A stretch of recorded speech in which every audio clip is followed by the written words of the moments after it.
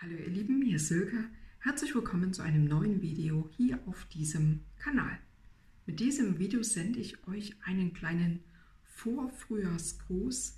In diesem Video stelle ich euch die ersten zehn Wildpflanzen vor, die mir bei einem kürzlichen Waldspaziergang begegnet sind. Es sind zehn Wildpflanzen, die ich euch kurz in diesem Video zeige und dazu gibt es auch eine kleine Information. Das ist ja fast schon Tradition auf meinem Kanal, dass ich jedes Jahr im Frühjahr ein paar Wildkräutervideos hochlade. Ich möchte euch mit diesem Video auch motivieren, raus in die Natur zu gehen und mal die Augen aufzuhalten, was euch da an kostbarem Wildgrün begegnet. Hier seht ihr den Bärlauch. Der Bärlauch gehört mit zu den ersten Frühjahrspflanzen und es ist so schön, wenn man durch den Wald geht und sieht dieses schöne, frische Grün im Frühjahr. Der Bärlauch hat langstielige grüne Blätter. Zu einer Pflanze gehört ein dreikantiger Stängel, der dann mit geschlossener Blüte emporwächst. Das Typische für den Bärlauch ist der knoblauchartige Geruch und Geschmack.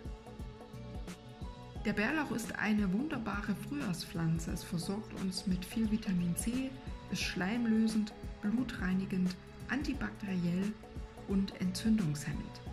Allerdings kann der Bärlauch mit der herbstzeitlosen oder mit dem Maiglöckchen verwechselt werden.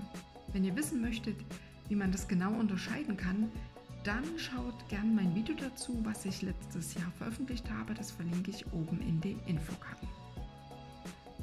Noch eine ganz frühe Wildpflanze im Frühjahr bzw. im Vorfrühjahr, das ist das Schaboxkraut. Neben dem Bärlauch ist es mit die erste frische grüne Pflanze, die man so im Wald finden kann, gerade nach einem langen und kalten Winter. Die gestielten Blätter sind herz- bis nierenförmig. Diese Wildpflanze sollte man nur bis zur Blüte essen, weil dann diese Wildpflanze ein schwach giftiges Alkaloid einlagert, was die Schleimhäute von Magen und Darm reizen kann. Die Vogelmiere gehört mit zu meinen Lieblingswildkräutern. Das ist eine sehr zarte, zierliche Pflanze und die Blätter, die sind eiförmig und vorn spitz zulaufend. Die Vogelmiere bildet kleine weiße Blüten und oft kommen sie in größeren Mengen vor. Es sieht manchmal so aus, als ob die Stängel fast parallel zum Boden liegen. Die Vogelmiere ist auch ein wunderbares Einsteigergrün für Interessierte an Wildpflanzen und auch für Kinder sehr gut geeignet. Die Vogelmiere schmeckt zart bzw. leicht nach Mais und Erbsen. Das ist die Taubnessel. Sie ähnelt der Brennnessel, allerdings weist sie keine Brennhaare auf. Sie hat vorn spitz zulaufende Blätter und der Rand ist stark gezähnt. Die Stängel sind vierkantig und leicht behaart. Die Taubnessel gehört zu den Lippenblütlern und bildet Lippenblüten aus. Die kann man dann auch gut an ihrer Form erkennen. Bei der Taubnessel gibt es zum Beispiel die gefleckte Taubnessel mit rosafarbenen Blüten, dann gibt es die goldene Taubnessel mit gelben Blüten, es gibt auch weiße Taubnesseln oder rote Taubnesseln. Diese kleinen Pflänzchen, die ihr hier seht, gehören zu einer der ältesten Heilpflanzen der Erde. Das sind kleine Schafgarbenpflänzchen. Die haben zarte, fein gefiederte Blätter. Die Blätter bestehen aus einem Mittelstrang, von denen kleine, gefiederte Abzweige abgehen. Die Schafgarbe hat einen muskatartigen Geschmack und ist sehr gut zum Würzen geeignet. Das ist die Brennnessel. Die Brennnessel ist eine alte Gemüsepflanze und typisch für diese Wildpflanze sind ihre Nesselhaare. Die Brennnessel gehört mit zu den wertvollsten Wildpflanzen in unserer Region und ich bezeichne sie auch gern als Superfood. Sie ist sehr nährstoffreich und enthält hochwertiges pflanzliches Eiweiß.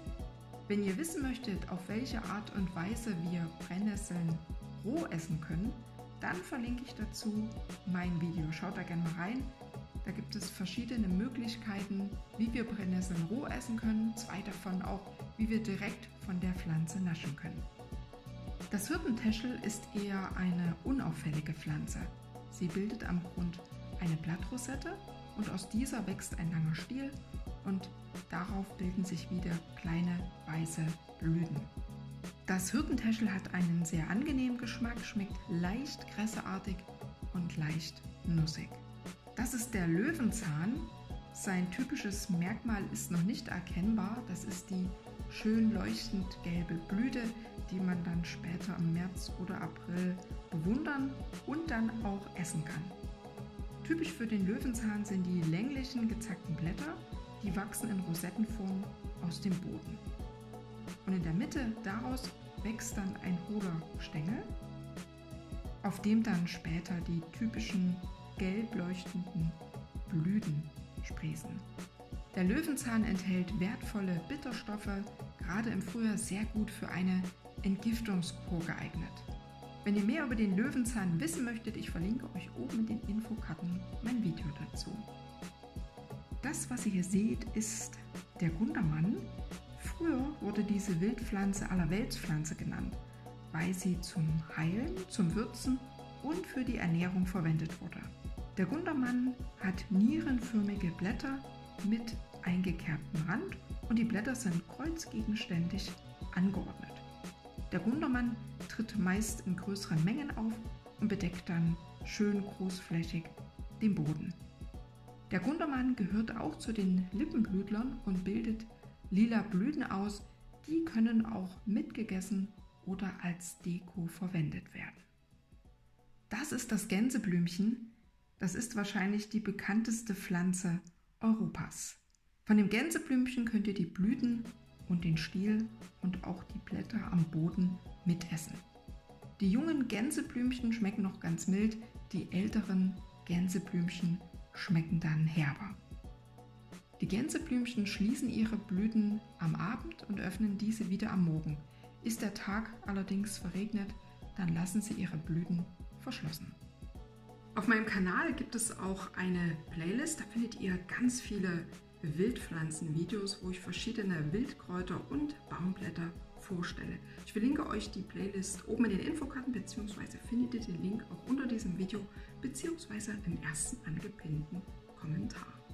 In meinem E-Book Gesund Grün Essen findet ihr auch ein großes Kapitel, welches ich den Wildpflanzen gewidmet habe. Da habe ich über 60 Wildkräuter und Baumblätter vorgestellt. Wenn ihr euch für dieses E-Book interessiert, ihr findet es unter diesem Video bzw. findet ihr den Link im ersten angepinnten Kommentar. Ich hoffe, ihr konntet Inspirierendes aus diesem Video mitnehmen. Ich möchte euch nochmal ans Herz legen. Geht raus in die Natur, bewegt euch, geht an die frische Luft, holt euch ein bisschen noch Normalität weg von den Innenstädten, weg von den Einkaufszentren. Geht raus in die Natur, macht lange Spaziergänge und schaut, welches kostbare Grün ihr bei euch in der Region finden könnt. Ich wünsche euch jetzt noch eine wundervolle Zeit. Lasst es euch gut gehen, ihr Lieben. Bis ganz bald.